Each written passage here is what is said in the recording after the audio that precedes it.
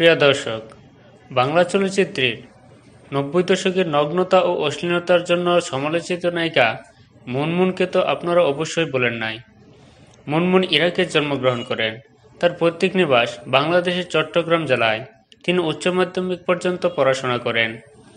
মুনমুন দুই হাজার তিন সালে সিলেটের একজন ব্যবসায়ীর সঙ্গে পরিণত সূত্রে আবদ্ধ হলে যুক্তরাষ্ট্রে চলে যান। দু হাজার ছয় সালে তাদের বিবাহ বিচ্ছেদ ঘটে। পরে দু হাজার দশ সালে তিনি দ্বিতীয় বিয়ে করেন। ওই দম্পতির দুটি পুত্র সন্তান রয়েছে। মুনমুন উনিশশো সালে বিখ্যাত পরিচালক এহেতেশামের মাধ্যমে বাংলা চলচ্চিত্রের শিল্পে প্রবেশ করেন।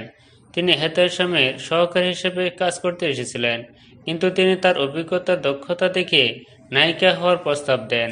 এহেতেশাম পরিচালিত মৌমাছি চলচ্চিত্র অভিনয়ের মাধ্যমে অভিষেক হন তিনি। কিন্তু চলচ্চিত্রটি ব্যবসায়িকভাবে ব্যর্থ হওয়ায় জীব, কর্মজীবনের শুরুতে থেমে যেতে হয় তাকে। এরপর মুনমুনের নৃত্য পরিচালক মাসুদ বুলবুলের সাথে সাক্ষাৎ গড়ে ওঠে। তিনি তাকে চলচ্চিত্রে অভিনয়ের সুযোগ করে দেন। দিলওয়ার জাহান জন্টু পরিচালিত শক্তির লড়াই চলচ্চিত্রে অনবদ্য অভিনয় করে দর্শকদের মন জয় করেন মুনমুন। তার অভিনীত মালিক আফসারি পরিচালিত মৃত্যুর মুখে চলচ্চিত্রটি দারুণ ব্যবসা সফল হন।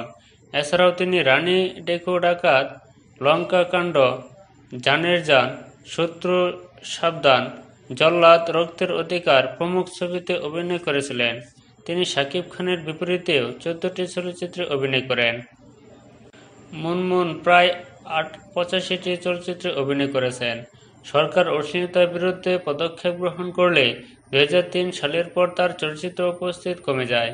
সর্বশেষ দু হাজার সতেরো সালে মিজানুর রহমান মিজান পরিচালিত রাগী চলচ্চিত্রে খল চরিত্রে অভিনয় করেন তিনি। চলচ্চিত্রে নগ্নতা ও অশ্লীলতার জন্য তিনি সমালোচিত হন। মুনমুন বাংলা চলচ্চিত্রের অন্যতম বিতর্কিত নায়িকা। তাকে বেশ কিছু চলচ্চিত্রে নগ্নতা দেখা যায়। চলচ্চিত্রের নগ্নতা, অর্ধনগ্ন ও অশ্লীলতার জন্য তাকে সমালোচনার মুখে পড়তে হয়েছে। চলচ্চিত্র থেকে অবসরের পর তিনি বিভিন্ন জেলা শহরে আয়োজিত মেলাতে আসা সার্কাস অনুষ্ঠানে নৃত্য পরিবেশনায় শুরু করেন